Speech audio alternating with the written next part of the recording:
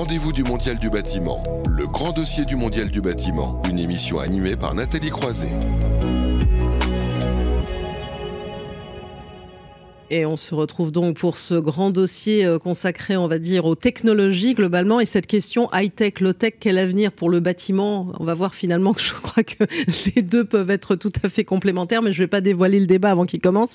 En tout cas, le bâtiment D'après ce que disent certaines études, et notamment l'Institut McKinsey fait partie des secteurs qui sont encore les moins digitalisés au monde. On le voit bien en France, loin d'être évident. Et pourtant, c'est un secteur ouvert aux innovations. Donc, on va parler de tout ça avec nos invités, notamment en plateau. François Desgardins, bonjour, qui est directeur des nouvelles offres et de l'innovation groupe chez Nexity. Alors, je pense que Nexity, pour ceux qui nous suivent, hein, je pense qu'à peu près on voit quel est le groupe, mais peut-être quelques mots complémentaires si vous voulez vous présenter. Alors, bah, Nexity, on est un acteur de l'immobilier. On a, on a commencé notre histoire euh, dans la promotion, qui reste le, cœur du réacteur du groupe. Donc on construit euh, des immeubles de bureaux et des immeubles résidentiels. On est euh, numéro un français sur ces deux segments-là.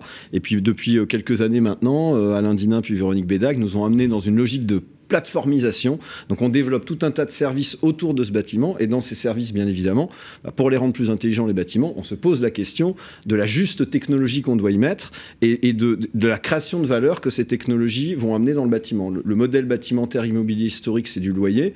Est-ce que demain, grâce à ces technologies, on va avoir d'autres valeurs complémentaires pour le propriétaire et surtout pour l'utilisateur, parce qu'in fine, ce qui compte, c'est l'utilisateur, euh, bah, qui vont être créés grâce à ces nouvelles technologies. Alors, point d'interrogation, où est-ce qu'on en est tout ça Parlons-en. Exactement, on va en parler et également avec Nicolas Régnier. Bonjour, que vous connaissez bien parce que je sais que vous, vous travaillez ensemble. Vous êtes le CEO de Data Solus. Alors, vous, vous proposez hein, des, des, euh, des, solutions qui valorisent les données hein, d'un projet immobilier, parce qu'on parlait de data tout à l'heure hein, avec Guillaume Loiseau. Donc, quelques mots complémentaires pour vous présenter oui, bonjour Nathalie, merci. Euh, donc Data Solus, effectivement, c'est une, une, solution SaaS qui met la data au service de la performance des investissements immobiliers et, surtout euh, du coup de la, de la transition environnementale. Je pense qu'on on en reparlera euh, juste après. Et on intervient, la spécificité, c'est on intervient sur l'ensemble du cycle de vie d'un bâtiment. Ça aussi, on en reparlera, c'est important. Et concrètement, c'est une plateforme qui vient agréger l'ensemble des données produites par l'ensemble des acteurs euh, sur le projet. Voilà, Alors on, a, on a parlé beaucoup de technologie, on va parler quelque part de low-tech aussi avec euh, Emmanuel Pat, bonjour, donc qui est architecte hein, chez euh, Méandre, etc. C'est ça? Alors quelques mots pour vous présenter, là c'est votre plaquette, on va dire officielle, on va dire. Allez-y, je vous en voilà, prie. puis euh, on a aussi un, site internet. donc Méandre ETC, architecture, urbanisme, environnement, nous sommes depuis 1998, nous, nous dessinons et nous suivons la construction de bâtiments euh, pionniers, euh, disons, euh, en avance de la loi pour la transition climatique. et c'est de l'architecture et c'est aussi de la recherche parce que nous regardons aussi le retour d'expérience, comment mmh. ça vit. Et je pense que c'est cela qui nous a amené à considérer que le, le low-tech euh, ou le passif, euh, enfin le bioclimatique, finalement, c'est un peu comme la culture, c'est ce qui reste quand on a tout oublié. Euh, donc dans un bâtiment, tout ce qui est moins actif, finalement, perdure. Et si c'est bien dessiné, mm. eh bien, ça rend des services pour, pour longtemps longtemps. Alors, euh, quand je feuillette hein, évidemment ce, catalogue, si je puis dire, on tombe sur un groupe scolaire, un zéro euh, énergie avec beaucoup de bois. Donc, c'est voilà, emblématique aussi de, de, ce dont on est en train de parler. Et puis, notre quatrième intervenant, il est en visio, euh, Philippe Biwix. Bonjour. Oui, bonjour. Vous m'entendez? Bonjour. Donc vous êtes euh, ingénieur, hein, spécialiste, on va dire, des questions de l'épuisement des ressources minérales, on va dire un promoteur quand même des low-tech aussi, et euh, directeur général adjoint de l'AREP, hein, euh, filiale de la SNCF. Quelques mots pour vous présenter? Oui, alors presque. donc j'ai été promu dans la plus stricte intimité. Donc c'est directeur général d'AREP désormais. AREP c'est une c'est une grande agence d'architecture hein, qui travaille à 80% pour sa maison mère euh, Gare et Connexion, SNCF, mais aussi à 20% pour euh, plein d'autres clients euh, publics et privés à toutes les échelles, hein, donc du mobilier urbain, donc avec des designers, bâtiments, avec tous les métiers de la maîtrise d'œuvre et de l'assistance à maîtrise d'ouvrage, hein, de la programmation en passant par, par l'ingénierie, par des expertises environnementales en particulier, et puis on va jusqu'à l'échelle du territoire avec des urbanistes, et on ambitionne de, devenir une grande agence post-carbone, voilà, et de de, faire bouger avec notre responsabilité de, de, grande agence avec 350 architectes et 1000 personnes, et bien de, faire bouger tout le secteur du bâtiment vers, vers ce monde bas carbone que nous appelons tous de nos voeux, évidemment. Voilà, c'était pour un premier euh, tour de table. Alors j'ai envie justement de vous poser en premier la question sans trop développer, parce qu'après en fait l'idée c'est qu'on soit très concret aussi et pratico-pratique dans ce débat pour ceux qui nous suivent. J'ai posé la question à high-tech, low-tech, euh, quel avenir pour le bâtiment? Euh, François Desgardins, je pense que c'est presque une question qu'il faut, qu'il faut oublier, non? C'est ça? Oui, parce que en fait, quand elle est posée comme ça, elle, semble dire qu'on aurait euh, un combat entre un, bâtiment pas intelligent et un bâtiment soi-disant intelligent avec plein de technologies dedans qui en réalité ne sert à personne. Et donc, bien évidemment, quand il est abordé comme ça, il nous, entraîne dans, l'idée que mettre des capteurs partout, parce que c'est l'image d'épinal qu'on mm. a, ça ne sert pas à grand-chose, d'autant que si on se dit euh, les choses, une partie des opérateurs qui interviennent dans ces bâtiments, ils récupèrent beaucoup de data dont ils ne savent pas quoi faire et, pour lesquels ils ont des personnels euh, qui, euh, qui sont un peu désarmés en fait mhm. devant l'arrivée de ces technologies. Donc la question de fond, c'est le juste usage de la technologie. Comment on fait des études pour avérer l'intérêt d'une technologie pour l'utilisateur du bâtiment ou pour le bon pilotage, monitoring du bâtiment, notamment sur la consommation énergétique, bien évidemment. Et donc, ça, c'est la question à laquelle, ensemble, on doit répondre. En réalité, personne ne peut répondre tout seul. Nous, le promoteur, on est maîtrise d'ouvrage, donc on est prescripteur, mais on, ne sait pas faire ça si on n'a pas des architectes, si on n'a pas des gens qui viennent euh, de la nouvelle économie avec des solutions et qui sont capables de nous démontrer l'apport de ces solutions. On ne sait pas le faire si on parle avec les utilisateurs des bâtiments qui nous disent, eux, quel est l'intérêt réel qu'ils trouvent aux technologies qu'on a pu installer. Hum. Donc c'est un avis euh, que vous partagez, Nicolas Régnier? Oui, oui, oui, effectivement, je pense que tu as, raison François, il ne faut pas opposer les deux. Pour moi, il y a, si, on prend un peu de recul, il y, a, quand même sur un projet immobilier des enjeux de fond mm. euh, énormes. Hein. Si, je cite par exemple, c'est un secteur euh, qui émet pratiquement le plus de déchets. Euh, c'est un secteur sur lequel, vous l'aviez dit Nathalie, la productivité a, c'est le seul secteur mmh. d'ailleurs dont la productivité a baissé depuis les années 60, alors mmh. que la productivité mondiale a doublé. Donc on a un gap de plus de 125% entre, les, entre les secteurs. Euh, ça, il faut, il faut se poser la question. C'est un secteur où la sinistralité a doublé mmh. aussi depuis, depuis 15 ans. Euh, et là, on, le connaît avec le, paquet climat de, de l'Europe on a un engagement euh, de réduire de 55% les émissions de carbone à horizon 2030. Mmh. Euh, et ce secteur-là est aussi un des, un des secteurs majeurs en, en émissions. Donc il, faut se dire qu'il y a quand même un sujet de fond qui, qui, nécessite de, remettre en question quand même la façon de, travailler. il y a une logique de data transformation, mmh. on l'a vu avec les, GAFA, etc., sur tout un tas d'autres secteurs. On l'a vu dans l'aéronautique aussi. Euh, si, je prends un parallèle, euh, sans trop rentrer dans le détail, mais euh, le, cycle de production a été divisé par 4 dans les années 70-80 par, par la data. Donc l'idée, c'est pas de dire effectivement on met des capteurs partout, on mmh. digitalise tout et de toute façon, trop de data tue la data. Pour moi, le, et, je pense on, en reparlera à l'issue et je vous donnerai des exemples.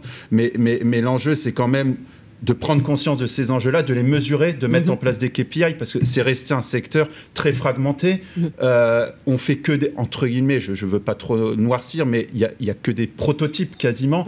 Donc on peut être amené à reproduire la même erreur euh, sur les différents bâtiments. Donc tout ça, ça peut se mesurer.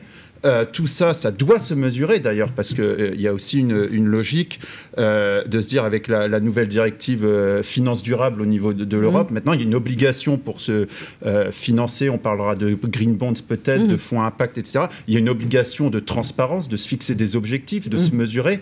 Et, c'était le, patron d'un des plus gros fonds souverains norvégiens, en l'occurrence, qui, disait en, mai dernier on ne pourra plus euh, ni se financer, ni s'assurer, ni recruter si on n'est pas euh, hyper compliante avec, euh, avec le SG, avec les, différentes, les, différents, avec une démarche de développement durable. Mmh, voilà, donc on, reparlera des exemples. donc finalement, Ça, se retrouve en, lien. Alors je vais passer la parole à, Emmanuel Pat parce que je vois que vous avez évidemment beaucoup de choses à dire sur le sujet. Alors vous, évidemment, euh, vous n'êtes pas dans la haute technologie, mais c'est aussi une forme de technologie aussi quand on s'intéresse aux matériaux, finalement, quand on y ah, réfléchit. Oui, et puis euh, oui, bien sûr, parce que dans low tech, il y a bien euh, tech. tech. exactement. et je dirais que c'est une technologie où il va falloir mettre de l'intelligence, c'est-à-dire mm. qu'aujourd'hui, très souvent sur les chantiers, on a des gens qui sont un peu des applicateurs et qui vont poser des, des objets peut-être hyper technologiques dont ils ne comprennent pas toujours euh, comment ça marche. Donc euh, le low-tech, c'est se réapproprier pour les personnes sur le chantier, se réapproprier euh, la compréhension. De l'ingéniosité, c'est de l'inventivité, c'est de, de l'innovation aussi sur les chantiers. Mhm. Et puis moi, je dirais, en tant qu'architecte, ce qui vraiment nous intéresse dans le low-tech, c'est que on n'est pas hors sol, on est obligé et on a envie d'ailleurs de commencer euh, le travail par euh, la perception de, mmh. du site, euh, qu'est-ce qu'il y a comme ressources, quel est le climat, est-ce qu'il y a du vent, est-ce qu'il y a comment la course du soleil, toutes ces mmh. choses-là. donc, contrairement à, toute une époque, hein, parce que quand même les, les 30 glorieuses, c'était l'architecture internationale, où on pouvait mettre des bâtiments exactement les mêmes, euh, dans une ville africaine, euh, au nord de l'Europe, etc., et, mettre beaucoup d'énergie et beaucoup de carbone émis aussi pour les faire tourner. Alors que le low-tech, c'est euh, tout d'un coup, on, revient sur, on remet les pieds sur terre, je pense, et c'est du bonheur parce que c'est quand même agréable aussi de, comprendre comment les choses marchent, de pouvoir euh, les réparer. Il faut trouver. Ils ont l'air contents quand même les deux autres. Oui. En plateau, Non, mais il faut trouver du bonheur, je pense, euh, à Enfin, c'est une philosophie de peut-être d'être plus maître chez soi. Oui, maître chez soi. Alors justement, si on veut en savoir plus, il y a une, une bande dessinée, si je puis dire, un ré rénové low-tech, c'est tout naturel. Vous avez notamment piloté qui, qui, qui explique tout, hein, c'est ça, sur le euh, principe Tout, je ne sais pas, mais, en tout beaucoup qui, de choses. qui explique des choses. Et il y a d'ailleurs au dos de ce... Euh, il y, a, y, a, un petit flash code euh, pour aller écouter des podcasts où on visite des bâtiments et justement. Et puis ça, c'est de la low-tech. Voilà. voilà.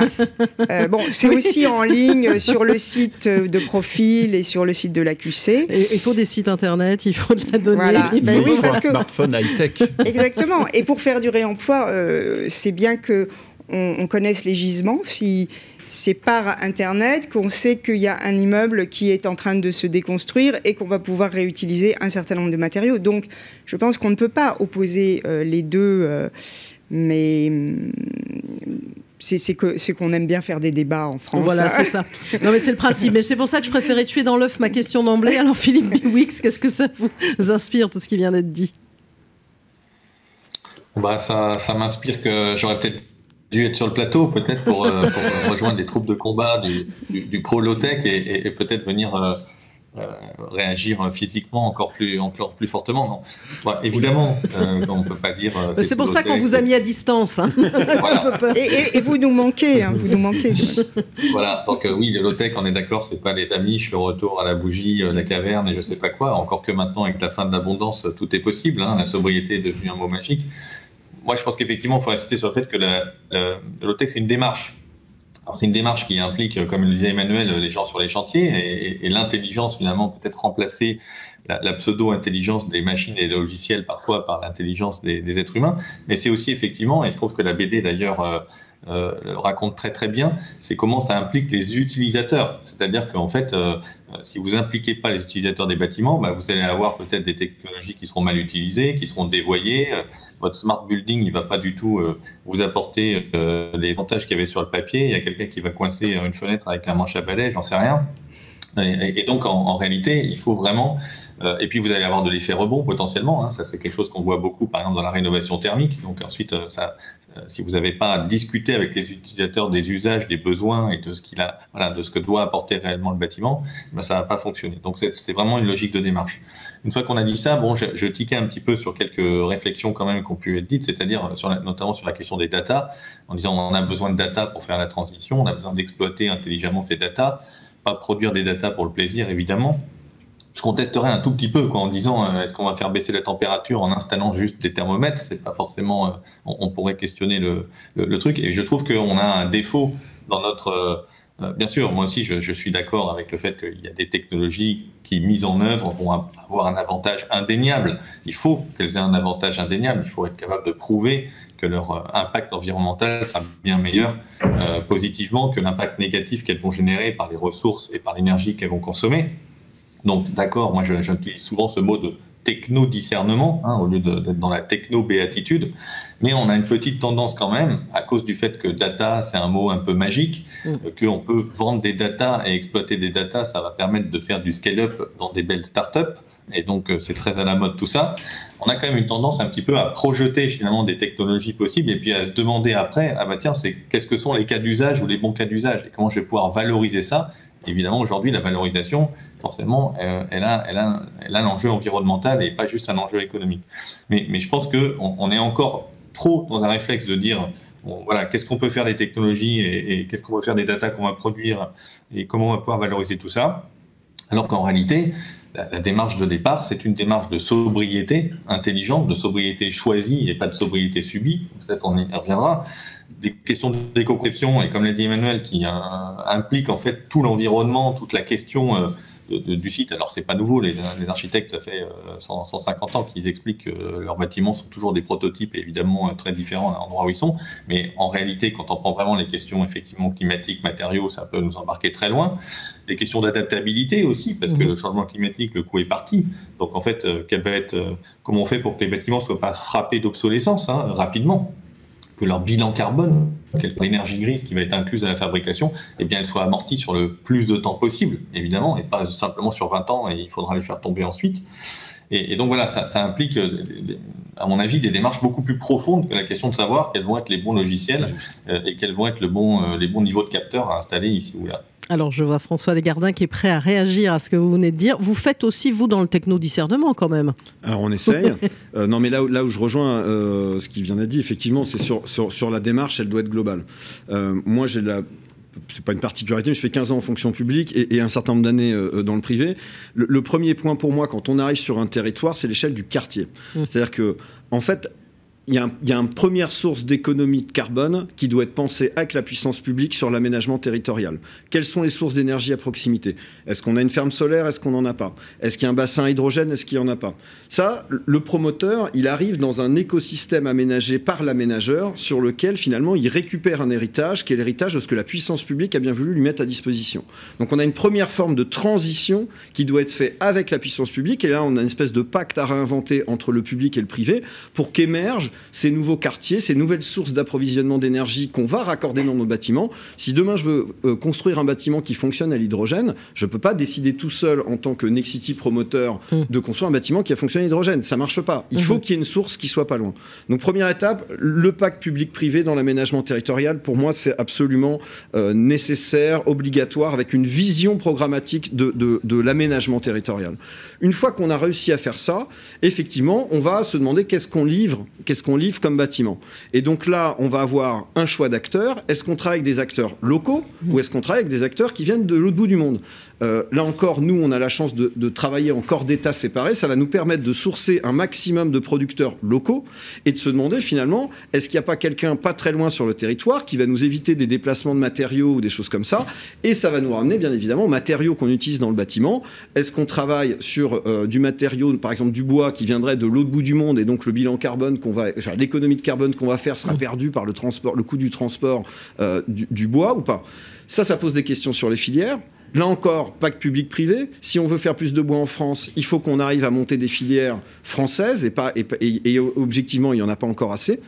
Et puis, comme on travaille beaucoup en rénovation énergétique, va se poser la question du cureur. Comment lui démonte ce qui existe? Aujourd'hui, on va faire très clair, et je, on l'assume, et à un moment, c'était plus simple de tout raser, de mettre tout dans une benne et de reconstruire tout en neuf. Mm. Ça, on sait tous que cette, ce moment de, l'histoire des bâtiments en train de se terminer, va falloir qu'on apprenne aux cureurs à démonter proprement ce qui a été construit, à retrier ce qui a été construit, euh, pour qu'on renettoie et qu'on réutilise. Aujourd'hui, au moment où on se parle, une prise neuve électrique produite en Chine coûte moins cher qu'une prise réusinée. Voilà. Quand vous êtes le propriétaire, vous préférez acheter une prise neuve, même si elle vient de la Chine, qu'une prise qui est nettoyée. Alors que bien évidemment, on le sait tous en tant que citoyens, c'est une aberration, il ne faut pas qu'on le fasse. Donc il va falloir qu'on change, y compris nous en tant qu'acheteurs, utilisateurs, notre manière de voir les choses et qu'on fasse tous un petit effort.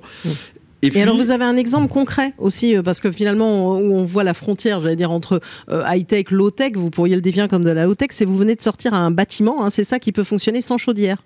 Exactement. Mmh. Euh, donc là, effectivement, c'est- une réflexion issue d'architectes pour le coup, parce que c'est pas une invention d'Exity. On a, on, a, on a été se promener un peu partout en Europe et notamment en Autriche. On a trouvé des architectes qui avaient euh, construit un bâtiment, alors qui, n'est pas sans technologie. Il a, il a pas de chaudière, donc il a effectivement euh, le, le- et, et le- et il fonctionne grâce à un ordinateur de bord du bâtiment qui va gérer les ouvrants. Donc là, on Mhm. retrouve sur des techniques entre guillemets presque ancestrales où on, on crée des ventilations sur un certain nombre de, de- de bâtiments pour qu'ils se régulent en fonction de la température extérieure. Et donc, euh, c'est un bâtiment dit low-tech au sens où il n'y a pas de chaudière, mais il n'empêche qu'il y a bien un cerveau intelligent dans le bâtiment qui va, qui va monitorer le bâtiment, qui s'adapte à la température extérieure. Voilà, donc euh, c'est un exemple, un exemple parmi d'autres. Alors, je pourrais vous faire réagir sur d'autres sujets, mais je vais faire commenter euh, Nicolas Régnier en, en- pour, pour poursuivre sur ce que disait aussi Philippe Biwix, la donnée pour la donnée, etc. Vous qui êtes là-dedans et qui produisez des doubles digitaux de, de bâtiments, vous, vous allez dire, vous, l'intérêt que ça représente, évidemment. Oui, en fait, je, je voulais revenir un petit peu effectivement sur le, le- le terme de data qui, qui, qui fait peur et qui euh, et on, on s'imagine tout un tas de choses avec énormément de données de serveurs, etc. Euh, Peut-être deux mots nous, sur Data Solus. Qu'est- Qu'est-ce qu'on est en fait? On- Nous, on- entre guillemets, on produit pas de data. Nous, on va agréger les données d'un projet immobilier et on va en faire un, un outil, un double digital standardisé. Je reviendrai dessus aussi. euh, qui, qui est un outil en fait de pilotage stratégique pour la performance de, de- de- l'investisseur immobilier. Donc ça veut dire quoi? Ça veut dire qu'en fait euh, aujourd'hui l'information, vous l'aviez dit, est très fragmentée.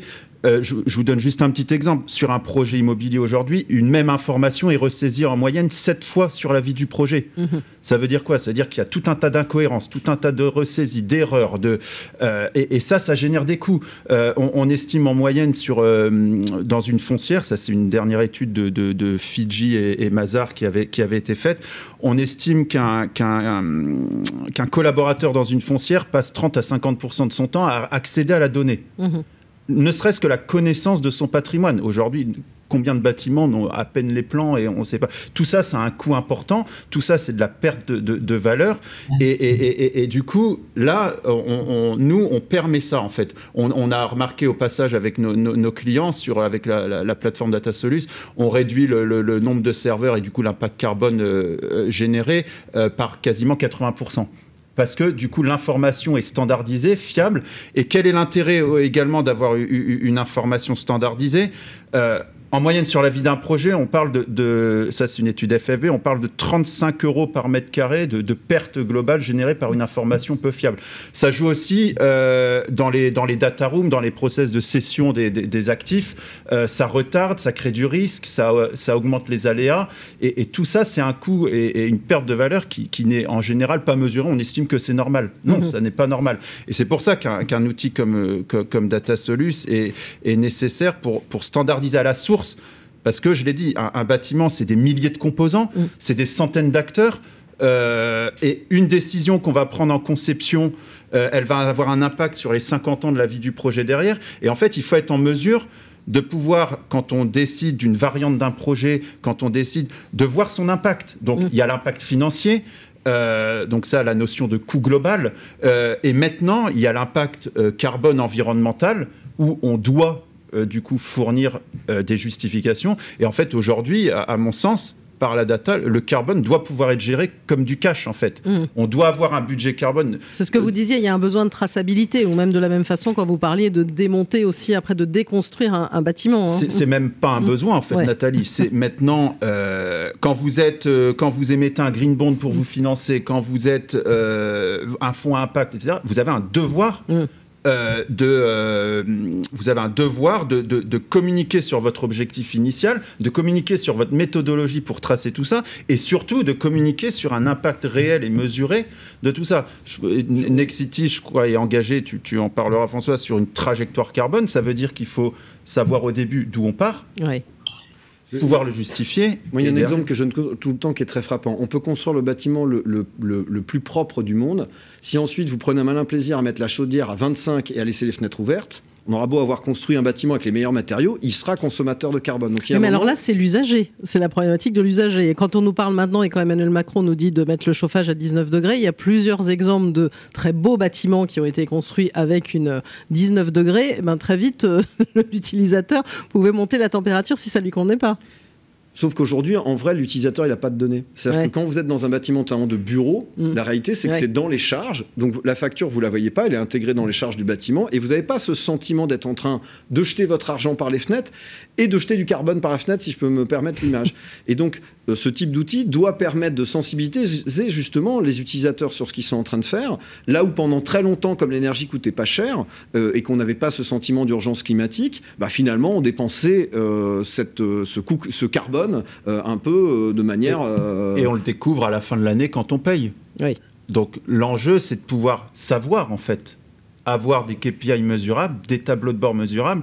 Et ça, c'est pas, c'est pas, c'est pas de la data astronomique et exceptionnelle, mais c'est au moins avoir une data fiable, connaître son bâtiment, savoir euh, les différents mètres carrés, comment, comment ils sont utilisés, savoir euh, effectivement l'énergie, où est-ce qu'elle est utilisée. Et pour ça, il faut, il faut ce double digital fiable, euh, et d'autant plus dans une logique de pouvoir alerter L'enjeu, c'est d'être dans une logique de prédictivité, en fait, mhm. pour rester sur sa trajectoire. Alors, Emmanuel Pat, qu'est-ce que ça vous inspire, tout ce qui a été dit Finalement, dans tout, on a beau parler de technologie, euh, on sent bien qu'il y a l'humain qui est derrière tout ça et qu'il y a une question aussi de, de, réflexion et d'intelligence. Je crois que ça, se rejoint sur, sur cette thématique-là.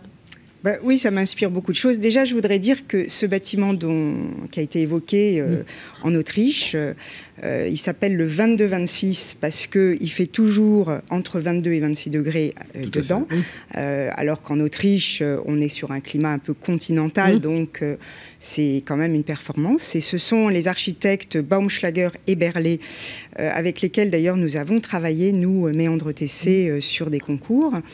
et moi, j'y suis allée euh, parce que j'étais euh, en vélo. Euh, je faisais un grand périple en vélo et je suis passée pas loin. Et du coup, j'y suis allée et j'ai été parler avec les gens qui sont dans ce bâtiment et j'ai regardé comment c'était fait. Ah, c'est amusant. vous avez vraiment un point commun. Et une chose que, que j'ai vue, c'est qu'il y a des grandes hauteurs sous plafond. Hum. Donc moi, je dis la data, c'est très bien la data, mais il faut aussi qu'on ait des, des, des architectes qui dessinent les choses pour que ensuite on puisse atteindre mm. Les objectifs. Parce que on peut avoir la data qui va nous dire bah, vous êtes mauvais, euh, ça va, on va pleurer, euh, ça va pas être drôle du tout.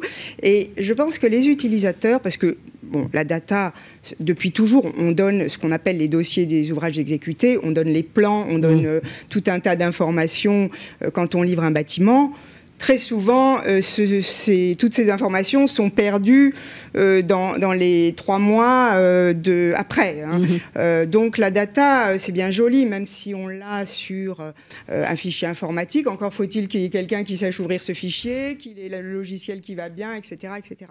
Je pense que ce qui est important, c'est aussi la motivation mm. et le désir. nous, on, fait, par exemple on fait travailler les gens avec la fresque du climat, c'est-à-dire qu'on les met autour d'une table pour créer un consensus sur déjà quel est le problème et comment, euh, après, comment on va peut-être s'emparer de tout ça et, quelles solutions on va imaginer. On en parle de plus en plus hein, de cette phrase du climat. Pour ceux qui ne connaîtraient pas, c'est trois heures justement pour se plonger et mieux comprendre les enjeux climatiques. On en parlait et aussi en pas, introduction. C'est pas du up down. Mmh, c'est mmh. pas quelqu'un qui vous dit euh, voilà ce qui se passe, c'est mal ce que vous faites, etc. C'est euh, vous qui euh, collectivement mettez ensemble vos connaissances pour, pour, pour comprendre les choses. et du coup, vous, vous créez aussi un, consensus d'équipe. Mhm. donc c'est très intéressant cette chose-là. et puis, je, repense aussi à ce qui a été dit au début par François, hein, c'est ça le quartier. Le quartier, c'est pas seulement les ressources, c'est pas seulement pendant le chantier. Le quartier, c'est aussi euh, la revitalisation euh, des territoires, des, petits, des, petites communes, euh, des centres-bourgs. C'est le plaisir de, se déplacer en vélo, à pied, du coup de retrouver du commerce, etc. c'est vraiment, et je pense que il faut donner envie de tout ça. Il faut que et, c'est ça qui va nous amener. Mais finalement, euh, c'est pas en disant aux gens ce qu'ils vont, ce qu'ils doivent faire. Mm. Euh, il faut encore une fois qu'il y ait une appropriation de, de toute cette démarche et que les architectes euh, euh, peut-être sachent être parfois pousser les choses pour être un peu en avance de la loi. Euh, ben, par exemple, là, nous, on, on travaille, on, on livre un bâtiment euh, au lycée français à Lisbonne. Mmh. Et à Lisbonne, euh, Avec de la ventilation naturelle. avec de la ventilation naturelle, mais c'est possible parce que là-bas, c'est obligatoire de faire les classes à 3 mètres de hauteur sous plafond. Alors Mmh. qu'en France, on va dire le coût euh, du chantier, il faut qu'on fasse euh, le moins haut possible parce que c'est autant de Mmh. matière, etc.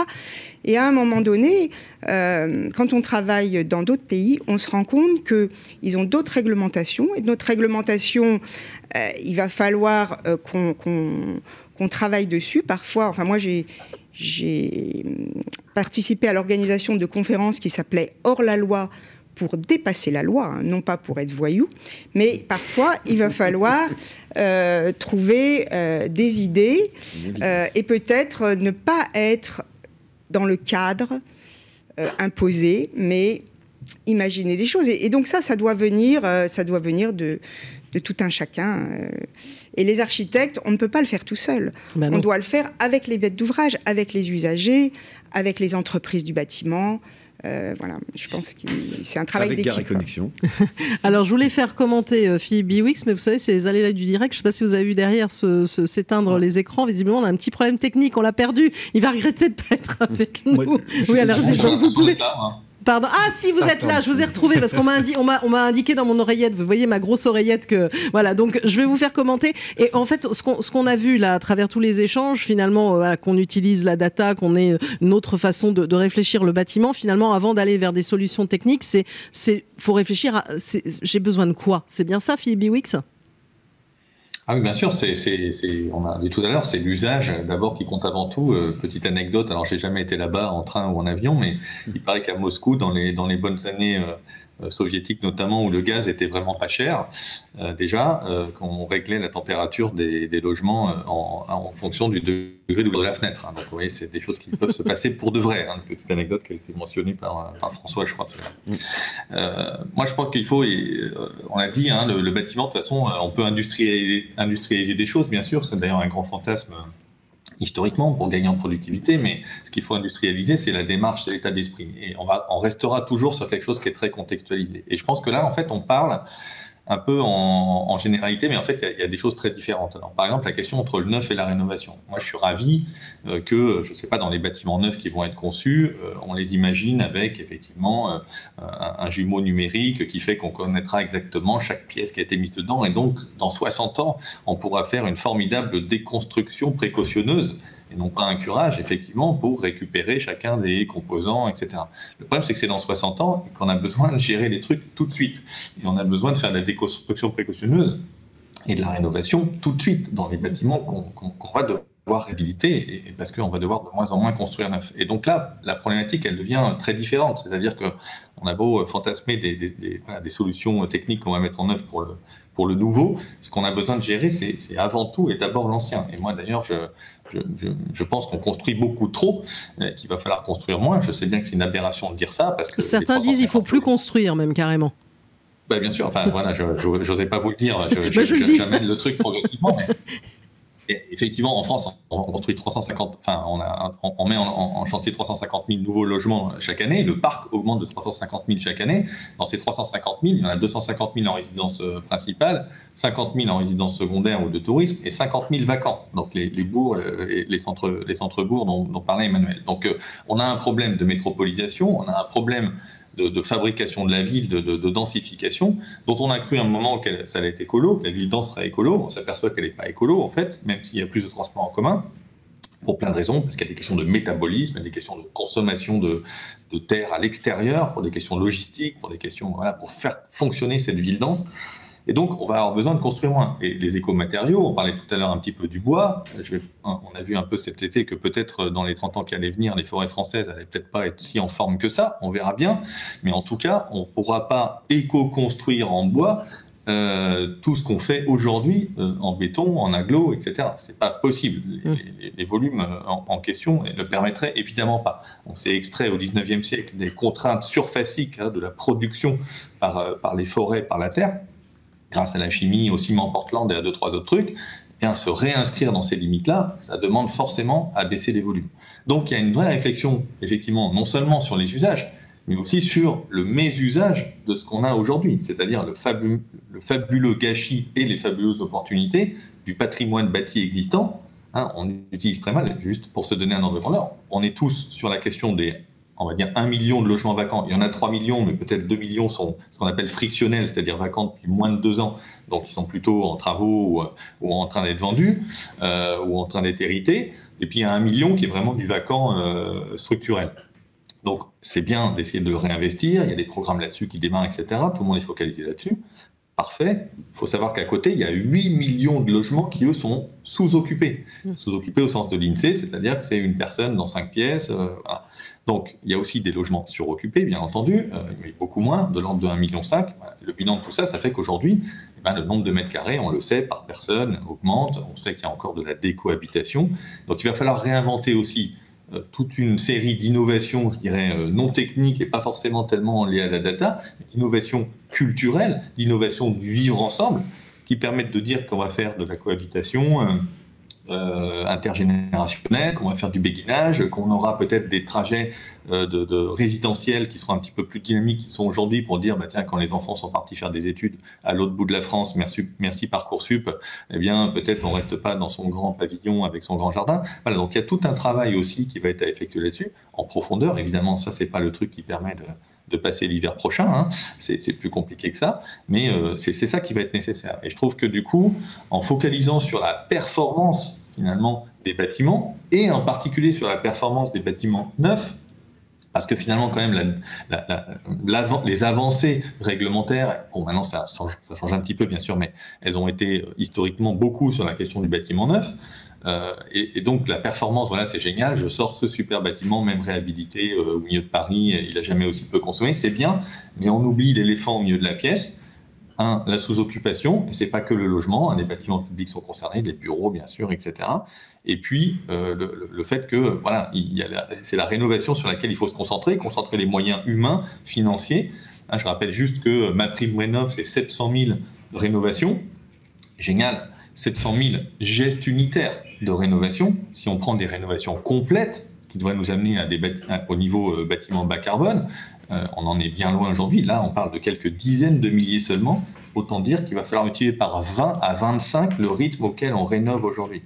Alors, ce qui est intéressant, je vois, je vois le temps qui file. Je sais que vous ne me voyez pas spécifiquement, donc c'est pas évident de relancer le, débat, mais je vois le temps qui file parce que finalement, on est parti à parler de high-tech, de low-tech, de technologie, et puis on en arrive au grand sujet hein, qui euh, nous concerne évidemment la problématique de la, de la transition écologique et des enjeux un carbone hein, finalement dans toute cette réflexion, et c'est ce qui fait le lien euh, entre vous tous. Hein, c'est ça, Pascal Legardin euh, Pascal, non François. J'ai envie de vous appeler Pascal d'un coup. Non, bien sûr. Alors sur euh, sur l'intensité d'usage des bâtiments, puisque c'est un peu le, sujet euh, qui, remonte là, bien évidemment qu'on est tous d'accord.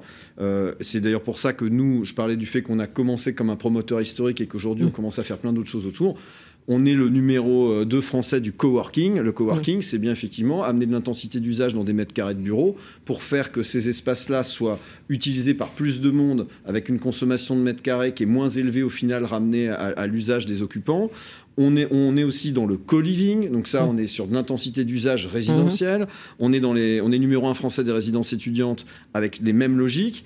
Euh, le sujet quand même, c'est que euh, si vous avez un patrimoine de X mètres carrés que vous voulez optimiser les déplacements des gens au sein de ces X mètres carrés, il faut quand même bien pouvoir le monitorer. Hum. Euh, et d'ailleurs, on le voit bien, les gens qui font de l'infrastructure de transport de type euh, métro ou RER, e ils sont pas capables de monitorer leur logique globale de mobilité s'ils n'ont pas la data qui correspond au flux des gens qui se promènent au sein de leurs outils. Et la data et l'open data aussi, ça c'est un sujet que... et donc, euh, même pour faire de l'intensité d'usage, mm. même si on veut optimiser les mètres carrés, si on est dans une logique qui est de dire que la réponse n'est pas juste de construire trois fois plus qu'avant, euh, il faudra quand même être capable de monitorer la manière dont les gens se déplacent et leur leur permettent d'avoir des outils bah, qui, leur permettent de savoir où sont les mètres carrés vacants, comment est-ce qu'ils peuvent euh, les utiliser, comment, etc., etc. Donc ça, on, a, nous, on développe tout un tas de solutions sur ces sujets-là.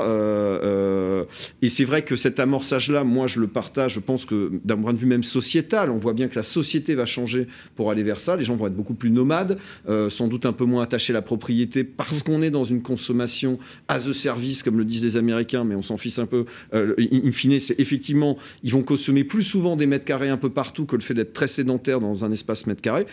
À mon sens, toutefois, pour gagner la bataille du bar carbone, on ne pourra pas opposer euh, la rénovation et la réhabilitation à la construction neuve. La vérité, c'est qu'on a besoin des deux.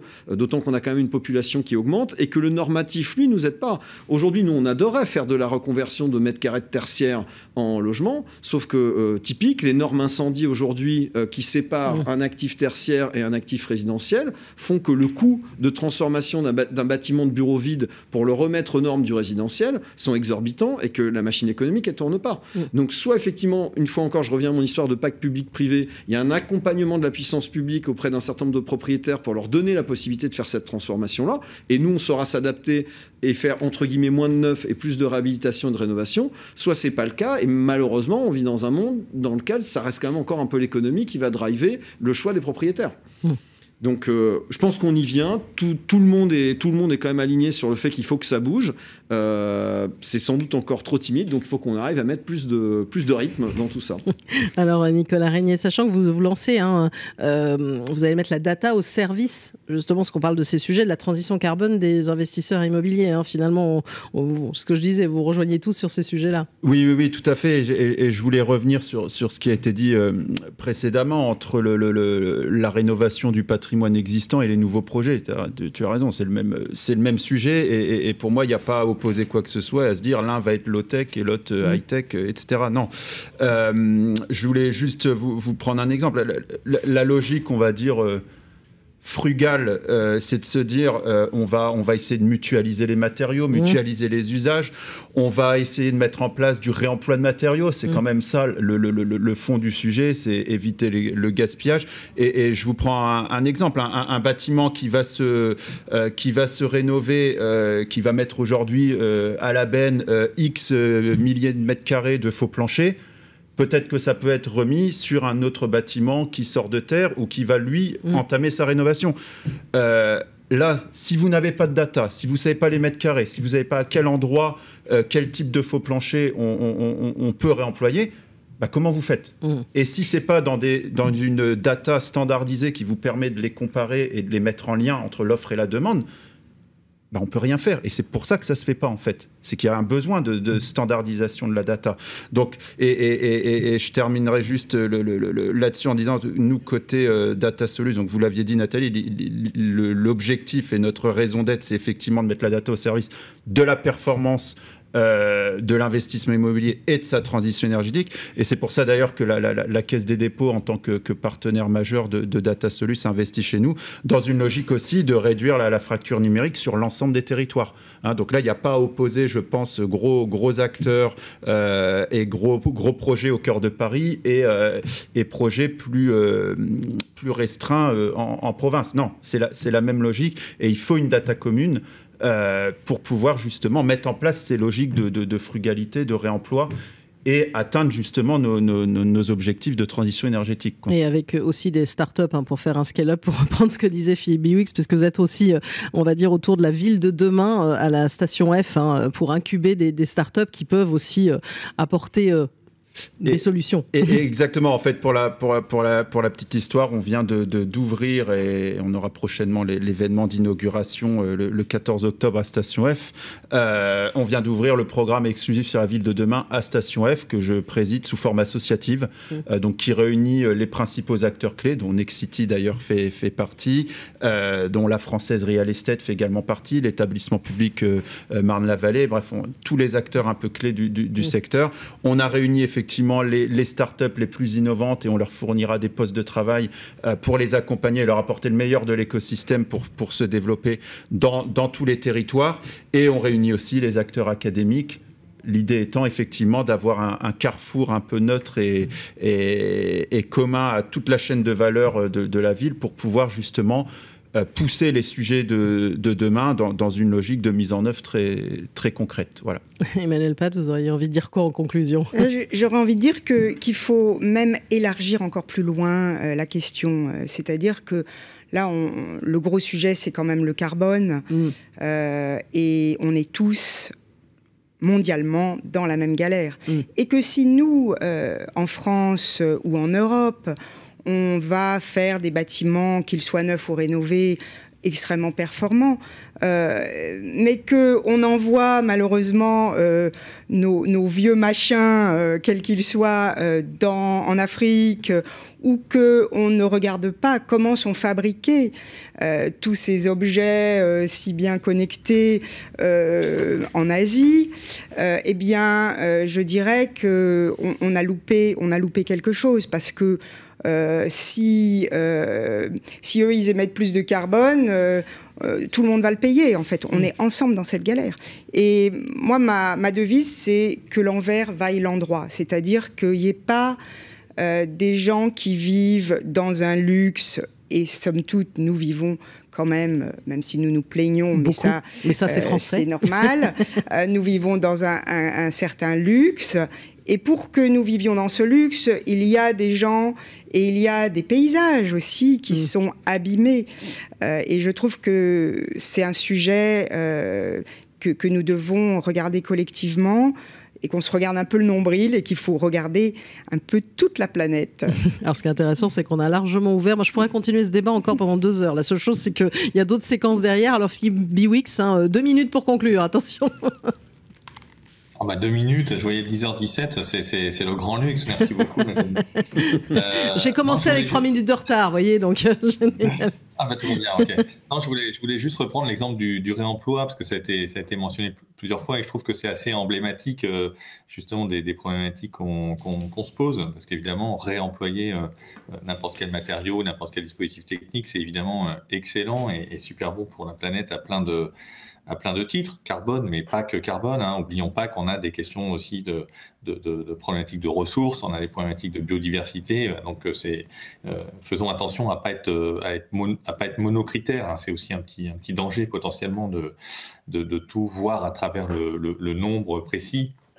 Et je vous renvoie d'ailleurs à un livre très sympathique du mathématicien philosophe Olivier Rey qui s'appelle quand le, quand le monde s'est fait nombre, qui raconte comment la statistique à partir du 19e siècle a finalement transformé notre manière de voir le monde et c'est très très très très euh, intéressant et enthousiasmant. Non, sur le réemploi, je voulais juste dire, mais en fait finalement c'est un exemple vraiment euh, donc emblématique. Hein, je pense que c'est moins de 1%, mais on dit ça pour pas se tromper en fait, hein, de, des volumes euh, utilisés dans le bâtiment aujourd'hui. C'est vraiment une peine hein, de faire du, réemploi euh, pour tout le monde, pour les concepteurs, pour les maîtres d'ouvrage. Voilà, il faut, une envie exceptionnelle et un engagement exceptionnel dans les conditions actuelles. C'est une histoire de, effectivement, je suis d'accord, de partage d'informations. Évidemment, plus on a des, des, plateformes et des manières de savoir euh, qu'est-ce qui est disponible d'un côté et qu'est-ce qu'on a besoin d'utiliser de l'autre, ça va aider bien sûr.